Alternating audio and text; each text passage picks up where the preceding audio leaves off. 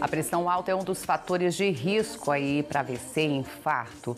E embora ainda não exista cura, é possível que as pessoas hipertensas tenham uma vida longa e feliz cuidando da alimentação. Dessa forma é muito importante né, saber quais são os melhores alimentos aí para as pessoas que sofrem com esta condição. E eu converso agora com a super nutricionista Adriana Tomazini para a gente saber mais a respeito. Adri, bom dia, bem-vinda. Bom dia, obrigada pelo convite, Elis. Quais os alimentos, vou perguntar primeiro, que devem ser ser evitados por uma pessoa que tem hipertensão? Então, todo mundo fala muito sobre o sal, né? O sódio como vilão. Realmente ele aumenta ali um pouco essa pressão.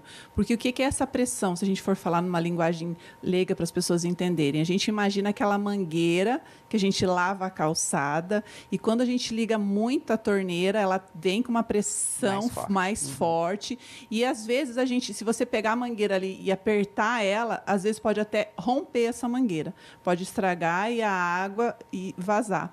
Então é isso que acontece com a pressão alta, quando tem uma pressão muito é, de, do sangue, uma pressão muito forte nas artérias, isso pode acontecer de romper se não for cuidado.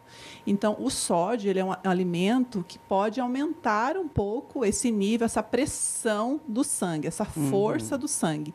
Mas as pessoas pensam às vezes que aquele salzinho que você põe ali na salada, na comida, e na maioria das vezes é esse sódio que está nos alimentos processados, porque a maioria dos alimentos processados é utilizado o sódio como conservante. Então, além deles colocarem lá o sal, o tempero, porque é mesmo a um alimento doce, é colocado é colocado uhum. sal. Então, além deles colocarem esse sal, esses temperos, como um tempero do alimento, eles ainda colocam o sódio como uma forma de conservante. Então, o ideal é você evitar o uso dos processados.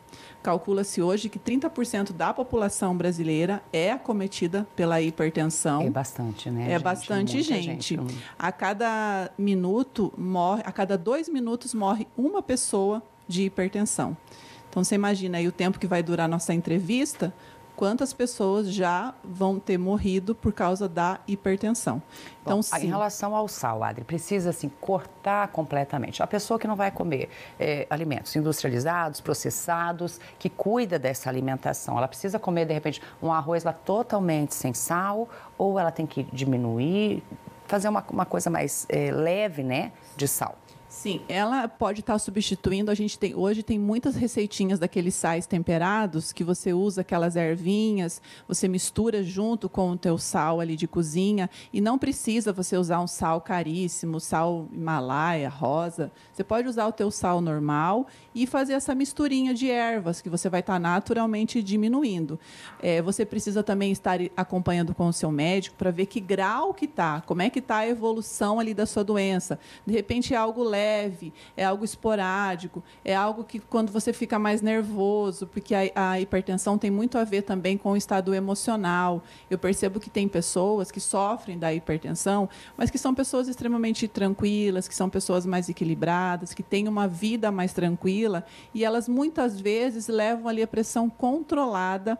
Quem já não viu isso, às vezes a, pe a pessoa está com uma pressão normal, vai lá medir e aparece que a pressão está alta, que às vezes ela fica nervosa porque está ali diante a síndrome do, do, jaleco branco, né? Que a pessoa uhum. chega lá no hospital, chega no posto de saúde, e ela vê aquele enfermeiro, aquela pessoa com aquele jaleco branco, ela já vai ficando nervosa e a pressão sobe, porque é normal. A pressão, quando você está nervoso, quando você se irrita, quando você passa Tem a ver por, com as suas por um, por um medo, uhum. é natural que, que o sangue seja injetado de forma mais rápida para você tomar uma atitude, para você correr, né? É, não é para você ficar parado. Então, assim, pressão subir acontece em momentos de estresse. Agora, uma pessoa que já tem esse quadro hipertensivo, ela precisa também controlar essa parte emocional. E os alimentos, a gente sempre fala assim, o potássio é um mineral muito bom, ele ajuda a tirar esse sódio através da urina, né? Ajuda a melhorar essa retenção de líquido. Aí tem a banana, tá a banana, né? A banana que a gente todo mundo é famosa, né? Ajuda também a evitar câimbras, as leguminosas, os peixes também são ricos em potássio, né? Os folhosos verdes escuros também são ricos. Outra coisa que você tem que evitar para o hipertenso é o açúcar. porque o açúcar ele é extremamente inflamatório. E hoje sabe-se também que a grande causa de hipertensão é a inflamação. Então, pensa, se uma pessoa ela já é hipertensa e ela está com sobrepeso, é uma bomba prestes a explodir. Uhum. E por que que geralmente a, hipertensão afeta muito órgãos, é, a cabeça, o coração? Porque são artérias que têm um calibre menor. Então, pensa assim, você já está com uma pressão alta ali de sangue nessas artérias. Aonde é uma artéria que tem um calibre maior, ela ainda consegue passar com facilidade.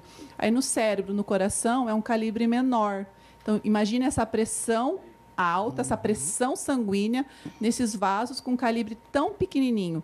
É muito fácil romper. Ou seja, a pessoa com sobrepeso, então já tem duas missões. Tem que perder peso já para ajudar nessa, na questão da qualidade de vida que ela vai ter se ela é hipertensa. Sim, um hipertenso ele tem como tarefa primordial, tarefa de casa, é diminuir o peso. Ele precisa emagrecer. Uma pessoa hipertensa, ela precisa perder peso.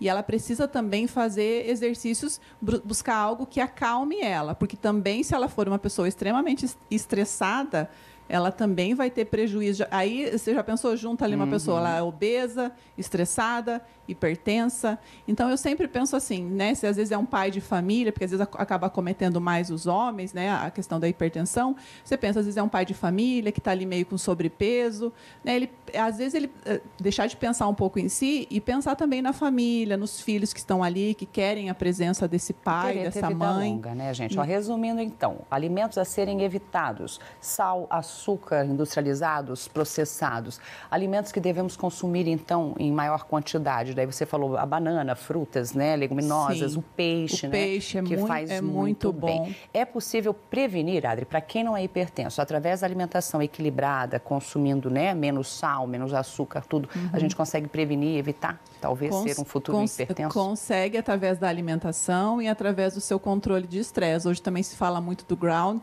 que é você colocar os pés na terra. Parece algo muito bobo, mas já tem muito, inúmeros estudos que qualquer um pode ter acesso sobre os benefícios de você tirar os calçados do pé e pisar na terra. E a questão da luz solar. Não é você só uma luzinha na janela, é você ter a, a presença da claridade, que também existem estudos no tratamento da depressão. A, você pisar os pés na terra e você ter a, a, luz solar pela manhã, é importante que seja pela manhã. Existem muitos estudos que são, estão sendo utilizados no tratamento de depressão. Tá certo, é isso aí. Vamos priorizar a nossa saúde. Adri, passa a rede social para o pessoal que quiser acessar mais conteúdos. Tomazine Adriana, THO. Obrigada, querida. Mais uma vez, até a próxima. Até a tá? próxima.